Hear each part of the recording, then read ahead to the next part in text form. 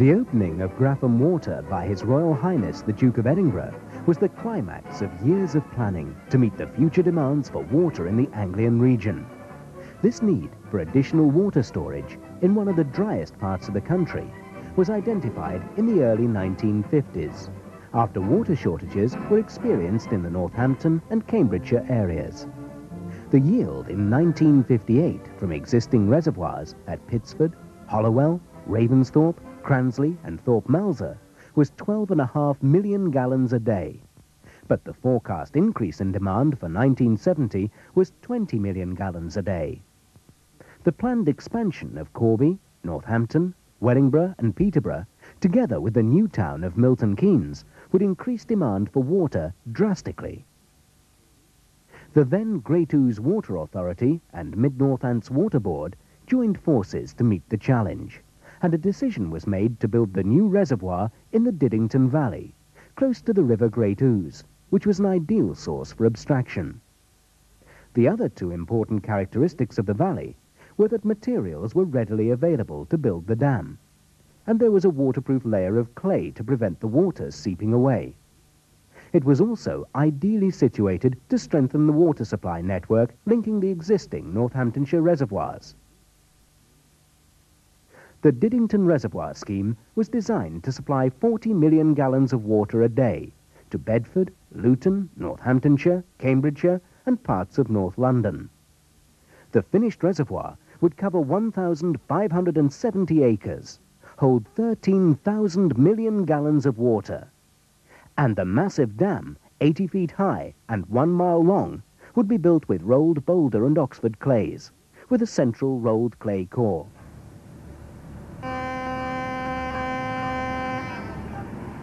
The sound of a klaxon heralded the beginning of Diddington Reservoir, with three huge 38-ton earth scrapers starting work simultaneously.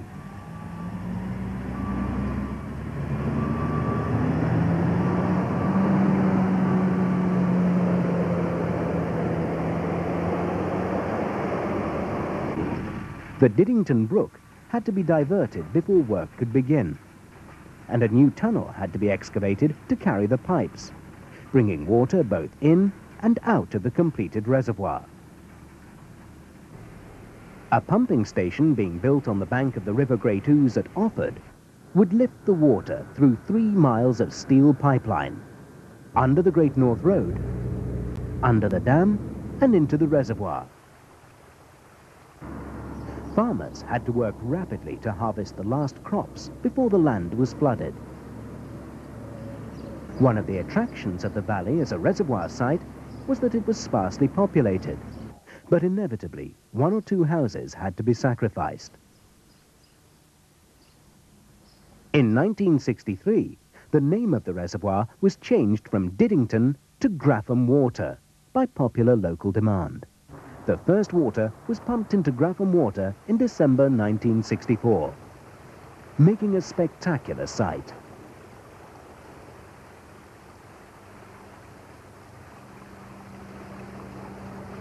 While it was filling, the nearby water treatment works was nearing completion. It had been designed to treat a total of 50 million gallons every day.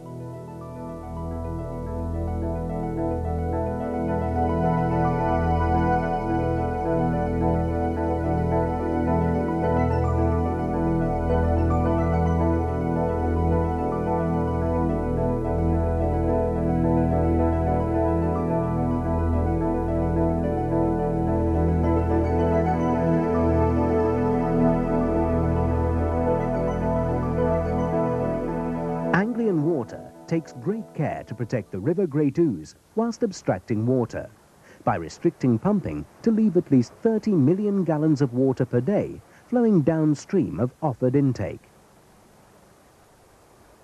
Water treatment begins in the reservoir itself, where nutrient concentrations are reduced through the natural food chain. This, combined with sediments falling to the reservoir bed, is a valuable first stage treatment.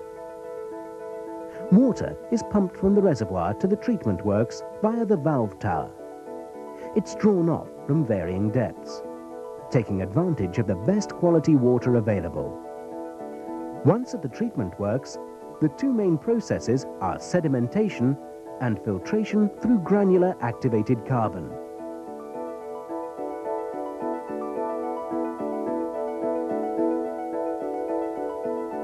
The last stage is the addition of chlorine to ensure a clear, sparkling, bacteria-free final product. The water is distributed through an extensive underground network to over 800,000 customers in five counties, 24 hours a day, 365 days a year. The potential of Grafham Water as a major recreation centre was recognised right from the beginning and formed an integral part of the planning.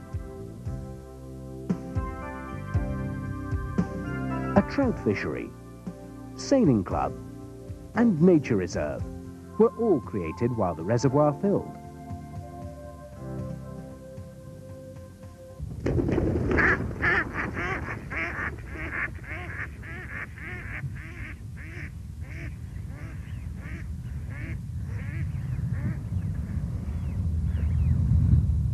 70,000 young trout were released into Grafham water a year before the fishing opened to make sure of big catches on the first day of the season.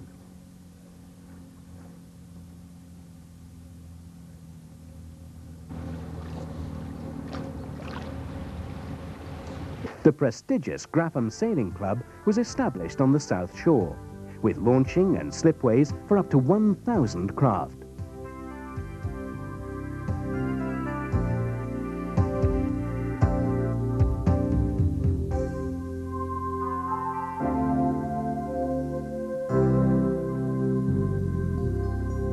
At the western end of the reservoir, 370 acres were set aside for a nature reserve.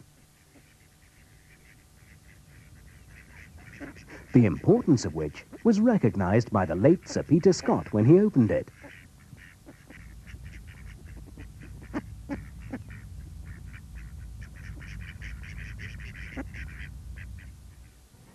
All was ready in July 1966 for the visit of His Royal Highness Prince Philip. Thousands of people turned out on this momentous occasion.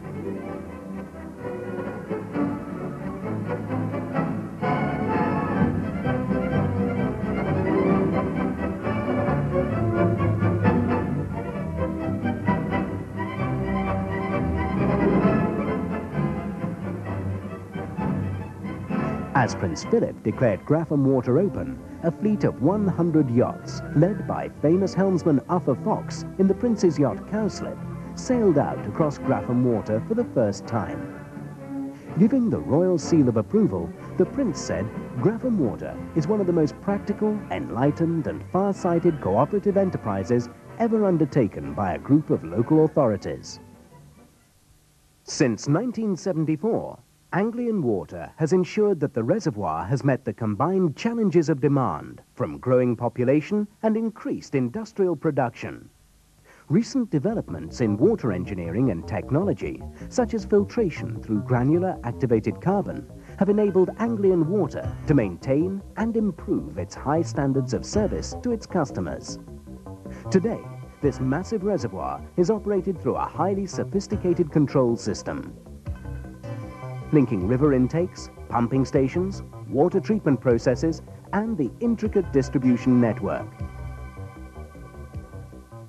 Not only does Grafham Water achieve its prime objective of meeting water supply demands, but it has also become an important recreation centre, hosting events including the World Fly Fishing Championships.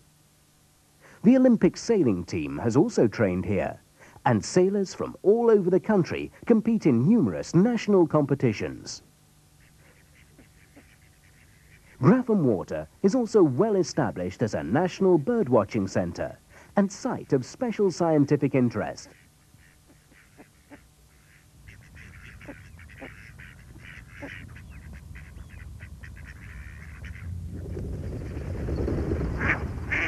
So, what of the future?